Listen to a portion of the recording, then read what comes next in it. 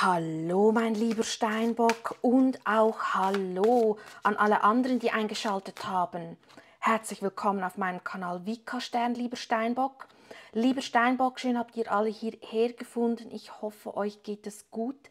Wir schauen uns heute die Karten an für die zweite Jahreshälfte von 2024. Das heißt, wir schauen uns die Energien zwischen Juli und bis mit Dezember an.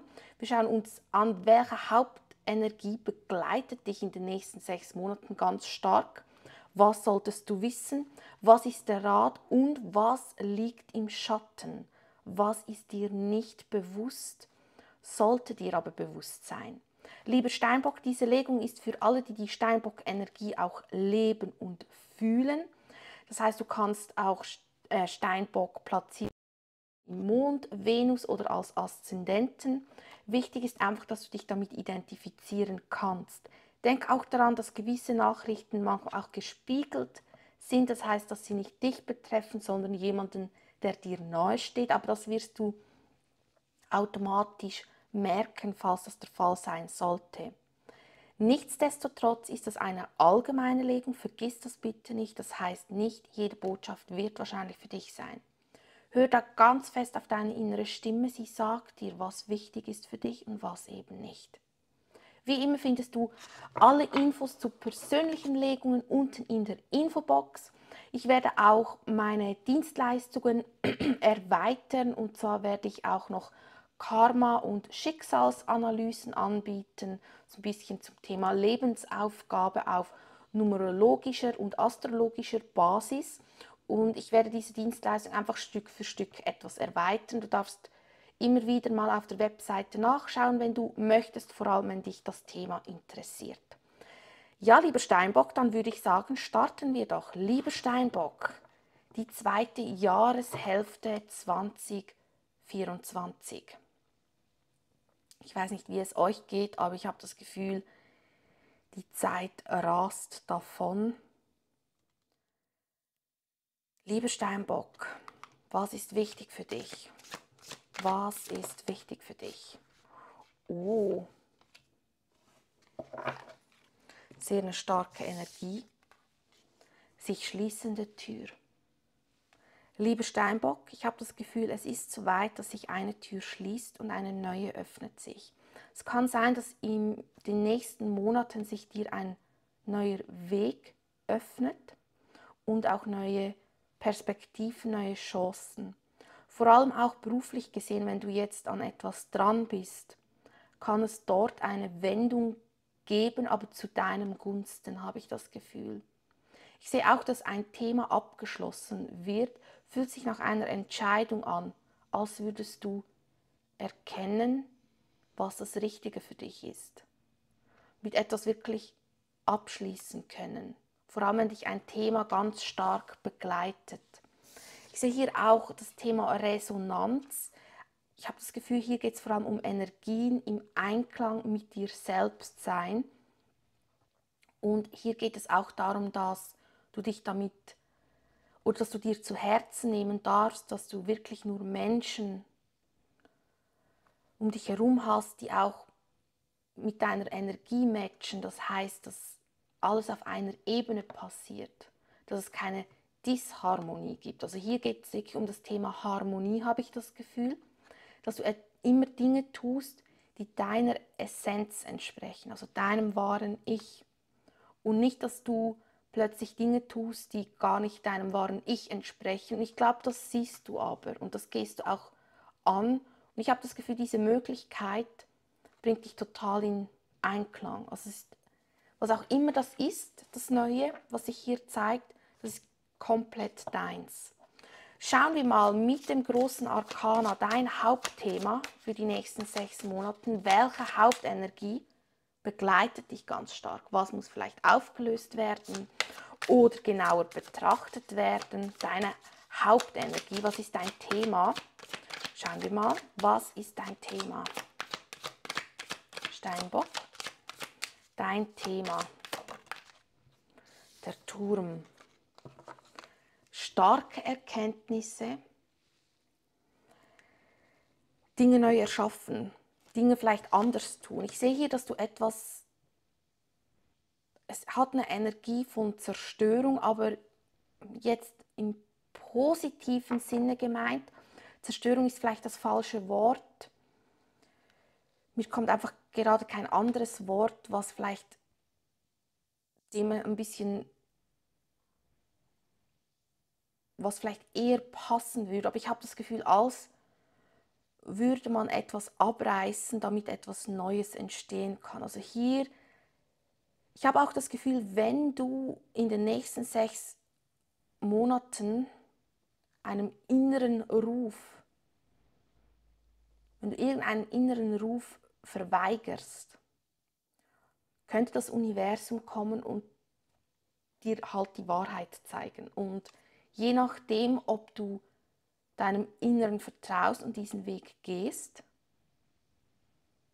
ist dieser Turmoment einfach in Form von deiner persönlichen Klarheit, was weg muss, was sein darf. Wenn du aber wegschaust, wenn du deinem inneren Ruf nicht folgst, dann wird dir das Universum eine Situation bringen, die dich vielleicht etwas schockieren wird. Und der Turm, ich weiß, viele mögen diese Karte nicht, weil es immer so ein bisschen eine Überraschung, etwas, was du nicht erwartest. Aber eigentlich, wenn wir ganz, ganz, ganz ehrlich sind mit uns selbst und in uns hineinhören, haben wir das eigentlich schon gesehen, dass das kommt. Wir haben einfach weggesehen. Also der Turmmoment ist immer ein Zeichen, wir haben irgendwo weggesehen. Und der Turm ist eigentlich sehr eine gute Karte, weil er möchte dich darauf hinweisen, hey, das ist nicht deins. Erschaffe dir dein neues Fundament oder dein neues Schloss oder was auch immer, weil der Turm bringt dir immer die nackte Wahrheit. Und hier kommt eine Form von Wahrheit und entweder findest du sie selbst und akzeptierst du sie und wenn du sie nicht akzeptierst und an irgendetwas festhältst, was nicht mit deiner Energie übereinstimmt, dann wird das Universum dir den Turm bringen. Beruf, Liebe spielt absolut keine Rolle, damit du hinschaust, damit du erkennst, hey, dort sind Risse vorhanden. Weil, sind wir ehrlich, wenn etwas nicht klappt, wenn wir nicht wissen, warum es nicht klappt, dann wird es schwierig, etwas dagegen zu tun. Und der Turm zeigt dir eben, was nicht klappt, warum es nicht klappt. Und erst wenn du wirklich das Warum weißt, kannst du auch die nötigen Maßnahmen treffen. Darum, ich finde, der Turm ist sehr, sehr wertvoll. Auch wenn er vielleicht manchmal im ersten Moment uns den Atem nimmt, bringt er uns immer ganz, ganz große Chancen. Schauen wir mal der Turm, warum. Ich habe auch das Gefühl, das Universum möchte, dass du etwas in die Hand nimmst.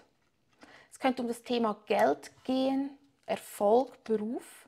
Ich glaube, dass du mehr eben nach deiner Seelenessenz, dass du einen Beruf ausübst, was mehr deinem wahren Ich entspricht. Also hier geht es auch um das Thema Bestimmung und Berufung leben, dass du dich wirklich damit auseinandersetzen darfst, falls Beruf dein Thema ist. Hier könnte eine schicksalshafte Begegnung kommen oder Erkenntnis, ein Ziel könnte sich dir zeigen, was ein bisschen unerwartet ist und so nicht geplant. Und das ist vielleicht so ein bisschen dieser Überraschungsmoment. Schauen wir mal, was ist denn dein Hindernis? Was hindert dich daran, äh, ja, diese schließende Tür zu sehen oder zu akzeptieren? Was hindert dich daran? Wo darfst du hinschauen? König der, ja, viel mehr auf dein Gefühl hören. König der Kelche, Wasserenergie. Also hör wirklich auf dein Gefühl, auf dein Vertrauen.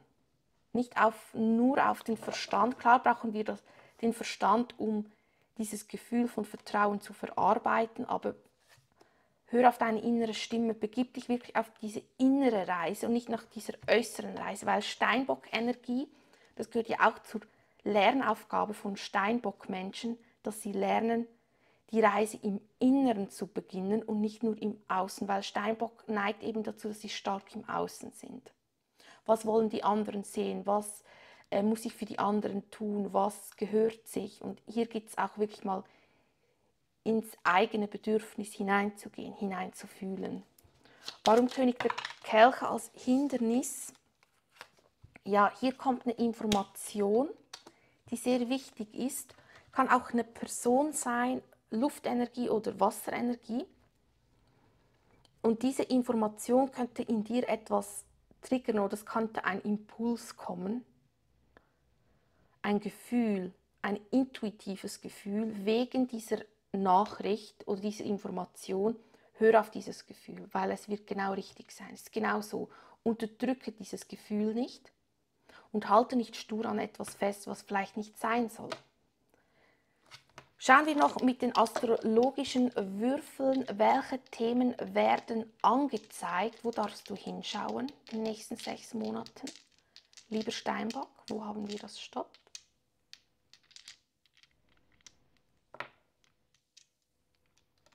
Hier ist das Stopp. Das erste Haus.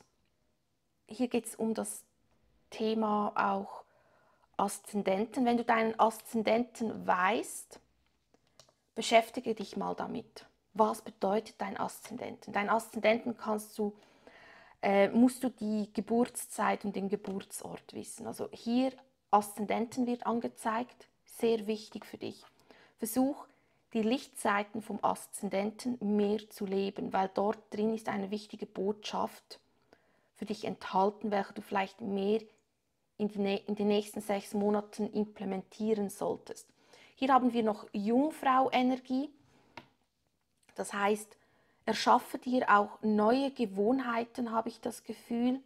Erschaffe Ordnung. Jetzt geht es um Ordnung erschaffen, nicht mehr an etwas, etwas vielleicht reparieren wollen, was am Zusammenbrechen ist, sondern wirklich fang vom Fundament her an, dies neu aufzubauen oder zu reparieren. Also nicht beim Dach oder so anfangen, sondern wirklich von den Grundlagen her, Grundsäulen.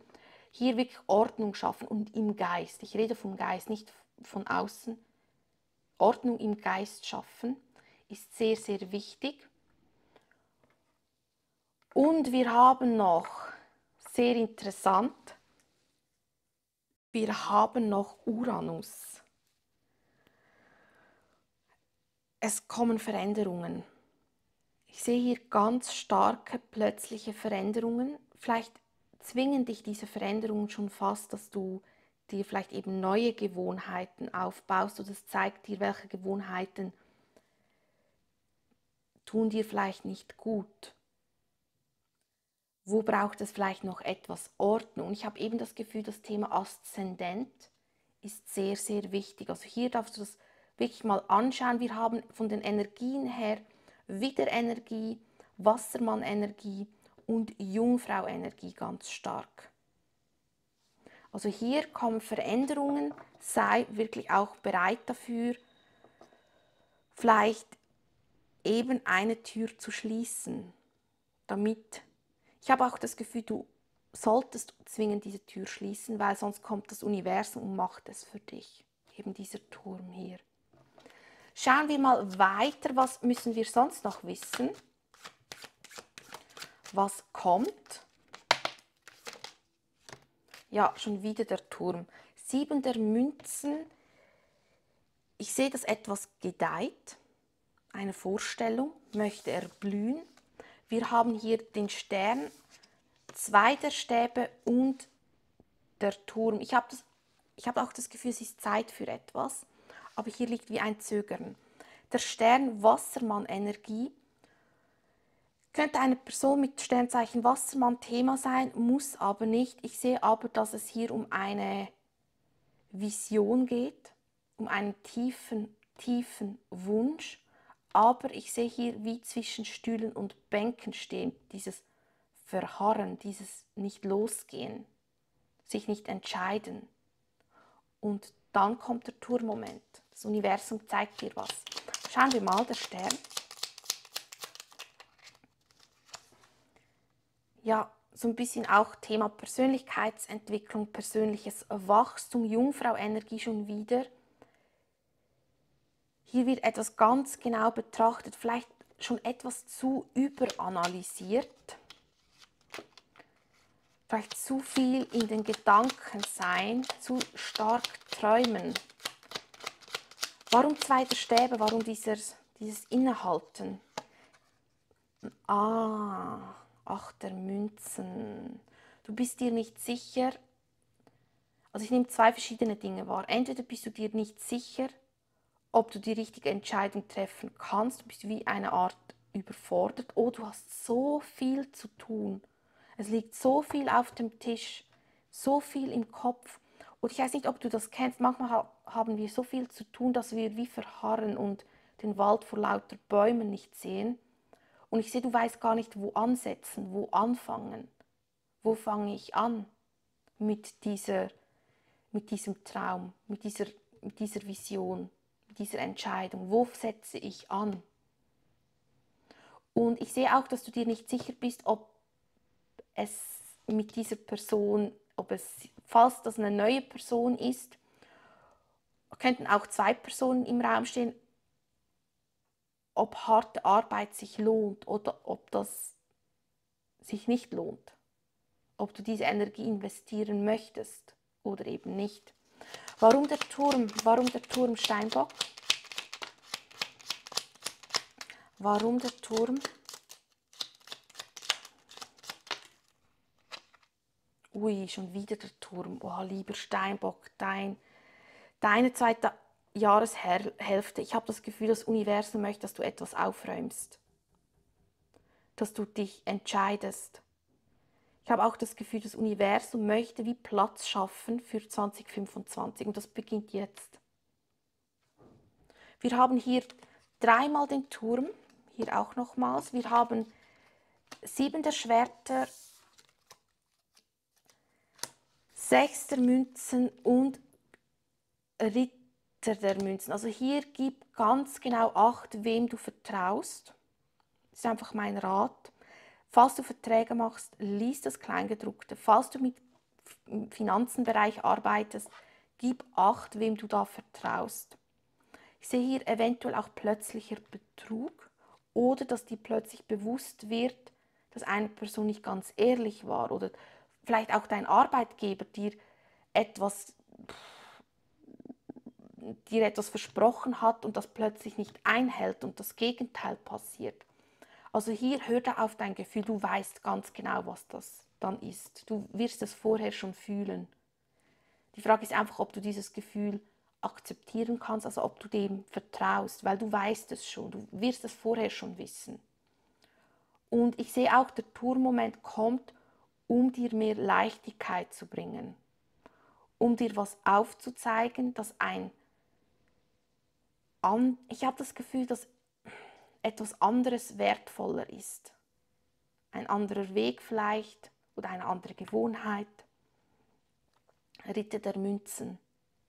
Also hier wirklich schauen, es kann auch sein, dass du plötzlich erfährst, dass, und du findest heraus, dass jemand eine Maske trägt und du findest heraus, dass du dich selbst sabotiert hast. Und dann kommt das Universum, um dir dabei zu helfen, das bewusster wahrzunehmen um dir zu helfen, hey, jetzt kannst du dich entscheiden, hier ist die Wahrheit. Also hier kommt wie eine Richtungsänderung, sehe ich. Und das Universum möchte, dass du diese Richtungsänderung eingehst, dass du diesem Gefühl vertraust. Weil eben das ist etwas, was du eigentlich dann schon fühlst. Und dieses Gefühl wird in Form von einer Nachricht oder Information schon mitgeteilt. Schauen wir mal, was ist denn der Rat, lieber Steinbock? Ja, schau genau hin. Schau genau hin. Nicht alles ist so wie auf den ersten Blick.